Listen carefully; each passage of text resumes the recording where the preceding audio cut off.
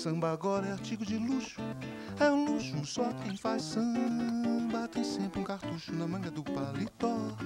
Ele aguenta um repuxo, bambeia, cai no chão, sacode o pó, mesmo fora da média, da mídia, da moda, da multi. Na manhã, na noite ele sai do bocó, segue já vai dando um nó, mas é, mas é que samba agora é artigo de luxo, é um luxo só quem faz samba tem sempre um cartucho na manga do paletó. Ele aguenta um repuxo, bambeia, cai no chão, sacode pó. Mesmo fora da média, da mídia, da moda, da multi. Da manhã, na noite, ele sai do mocó. Chega e já vai dando um nó. Todo moreno quando passa pode estar sambando. Toda morena caminhando mexe com quadril. É que o samba tá no sangue desse povo, tá no coração de onde ele nunca saiu. Dois por quatro é a cadência, o compasso do chão do Brasil. Dois por quatro o compasso do chão do Brasil. Papum,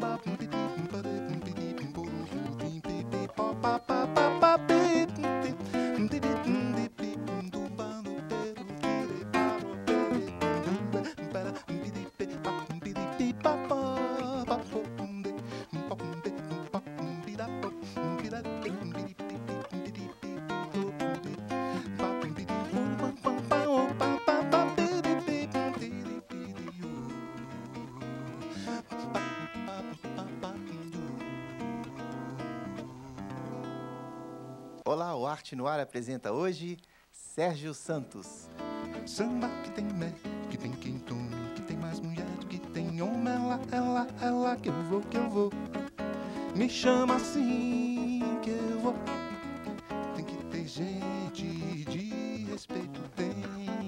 Cantor, cafetão, meretriz, trabalhador. Bem, hoje eu estou super feliz aqui porque mais uma vez recebo um querido amigo, né, além de um grande músico, um excelente cantor, que está aqui conosco, que é o Sérgio Santos. Prazer é todo meu, Théo. Seja bem-vindo, querido. É um Obrigado. tempão que nós vamos atrás de você aí, né? Te sondando dentro da sua agenda maluca aí, cheia de apresentações, né? Você tá que corre o Brasil, né, Sérgio? Olha, é assim, eu acho que tem um espaço hoje que a gente tem que ocupar, né? A Aham. gente tem que estar tentando correr o máximo possível. Acho que eu não corro tanto quanto eu, quanto eu gostaria, não. Ô, Sérgio, mas essa. Como é que começou essa sua história? Você é do sul de Minas, né? De Varginha? Exatamente. Aham. Sou nascido em Varginha e saí de lá com 14 anos. 14 anos. É. Mas lá em Varginha você já queria ser músico, queria ser cantor, compositor ou não? Ô, cara, na verdade, queria ser músico, Thelma, é uma coisa que veio muito tempo depois, É, né? uhum. Mas, assim, a música como divertimento, que na verdade é o que conta, né? Até hoje é assim. Aham. né? Eu tô, eu tô tocando aqui, eu tô me divertindo. Né? Aham. Para mim é a maior diversão que eu tenho. É, ela já existe desde, desde, desde quando eu não, cons- não conseguia segurar esse negócio aqui ainda na mão, entendeu? Eu me lembro, eu costumo contar essa história, que ela é muito interessante. De eu pequenininho, assim, eu passava na porta de uma barbearia que tinha em Varginha e tinha um violão pendurado. E eu ficava olhando aquilo e tinha uma curiosidade enorme com o som do instrumento. Então, eu, como eu não tinha coragem de pedir para o sujeito me emprestar e tal, era um violão azul, com a, É. a coisa preta aqui assim. Como eu não tinha coragem de pedir para o cara para eu pegar o violão, eu ficava esperando passar um cara que todo dia passava e tocava. Olha que A legal. hora quando o carro passava, eu ficava sentado na, na, na portinha, assim, Aham. botando o ouvido para escutar, né? Como é que era o som do instrumento, que não era aquele som que vinha do rádio, né? Era o som do instrumento mesmo. tal.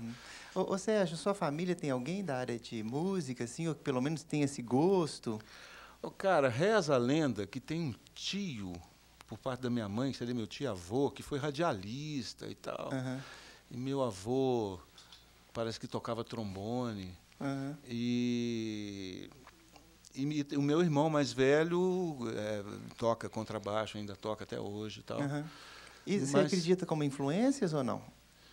Ne- Nessa vertente aí de familiar, Aham. na verdade, meu irmão, assim, meu irmão Sim. foi foi que me despertou um pouco para possibilidade da música, assim, Sim. sabe, de, Aham. da música se tornar alguma coisa mais mais concreta na minha vida e tal, porque ele já enfrenta, ele enfrentava aquela coisa de tocar à noite e tudo, Sim, né? Hoje em aham. dia já nem nem nem faz isso mais assim com a, com a frequência que fazia quando morava em Belo Horizonte.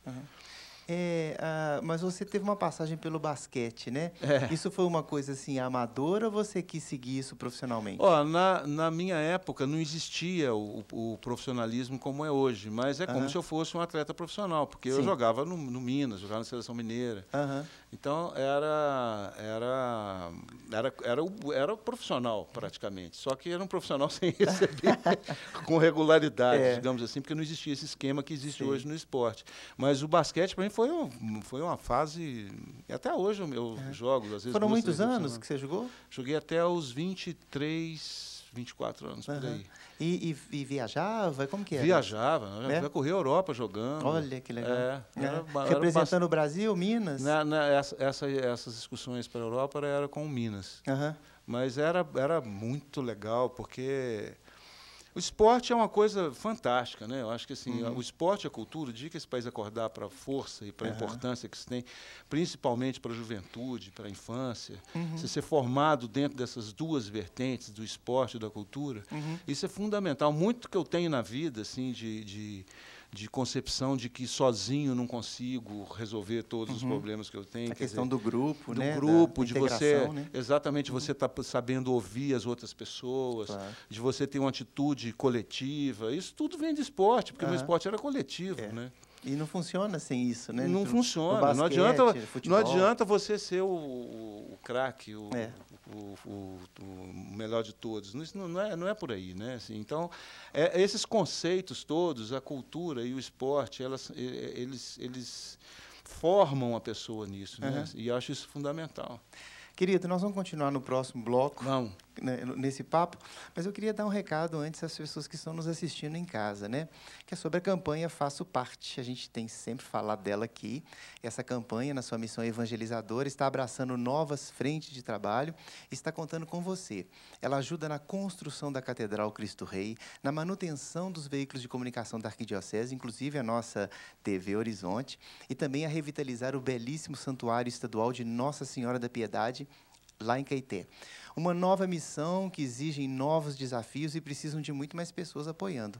Por isso, você está sendo convidado a fazer parte dessa história que está sendo escrita agora aqui na Arquidiocese. A doação pode ser feita por meio de um boleto mensal ou por um depósito bancário. Todas as informações já estão aí na tela, o telefone é o 31 3209 3559. Faça parte hoje mesmo. A gente vai encerrar esse bloco com mais uma canção do Sérgio Ganga Zumbi. né? Essa música é a música que tem num disco meu chamado Áfrico, de Áfrico. 2002, que foi um disco que me deu muita alegria. Ah. Então vamos tocar o Ganga Zumbi.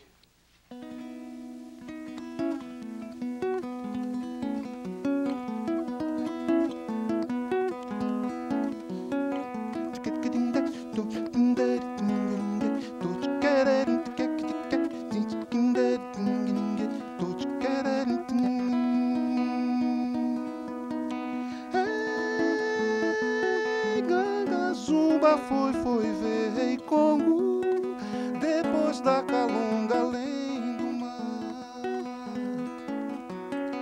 Foi, foi pro Canjerê de Zambia Pongo no terreiro grande de Oxalá.